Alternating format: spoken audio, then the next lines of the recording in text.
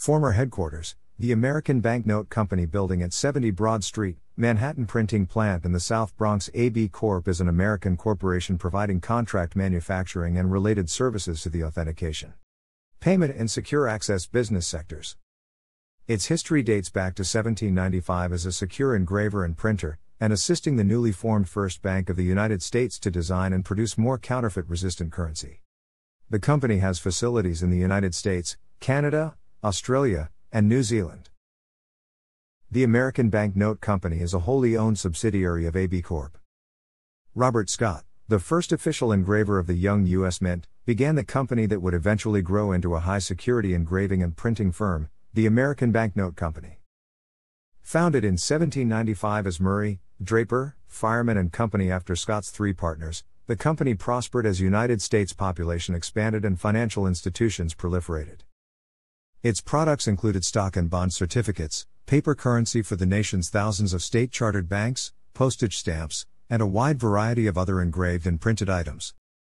Two security printers absorbed into the ABN in 1879 produced U.S. postage stamps between 1861 and that year, the National Banknote Company and the Continental Banknote Company. On April 29, 1858, following the Panic of 1857, Seven prominent security printers merged to form the American Banknote Company. The new company made New York City its headquarters. Less than two years later, the remaining handful of independent banknote printers merged to form the National Banknote Company. To be close to the stock exchanges, brokerage firms, and banks in lower Manhattan, the American Banknote Company established its headquarters in the Merchants Exchange Building at 55 Wall Street in Manhattan. The company moved its office and plant to 142 Broadway in 1867, to another new facility at 78 to 86 Trinity Place in 1882, and again to 70 Broad Street in 1908.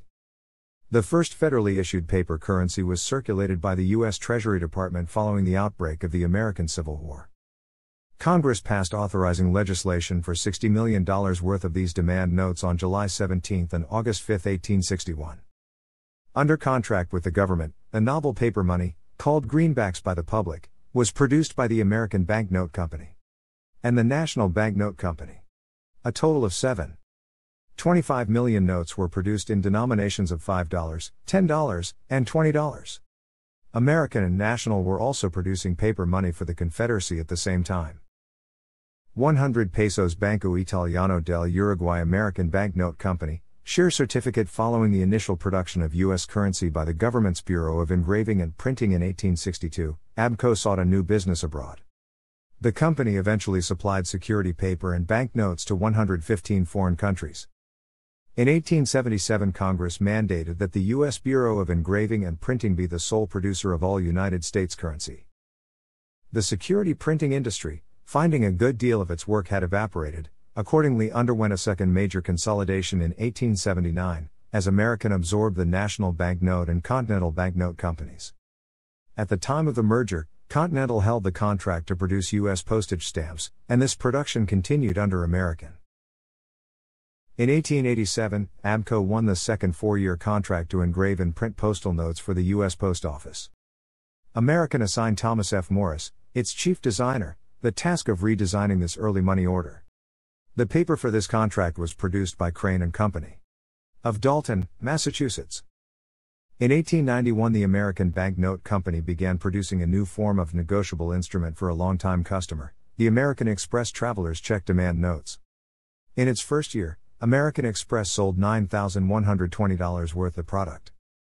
In 1894, ABCO completed the final contract for the private printing of American stamps. Perhaps the most popular were the Columbian issue, 1 cent to $5 issues commemorating the voyages of Christopher Columbus and the 1892 93 Columbian Exposition in Chicago. On July 1, 1894, American delivered its entire stamp producing operation to the U.S. Bureau of Engraving and Printing in Washington, D.C., where U.S. stamps were still printed up into the 1990s. The American Banknote Company. Ottawa, Ontario, Canada 1897 to 1911 and 1933, the company printed the second series of Bank Melli Iran banknotes. In 1943, the U.S. Post Office launched a series of 13 stamps honoring the countries that had been overrun by the Axis during World War II. Each stamp featured a full color reproduction of one of the occupied nations. While the Bureau of Engraving and Printing had previously issued bi-colored stamps, it did not have equipment for printing the necessary multicolored flag images, and so, contracted with the American Banknote Company to produce the stamps.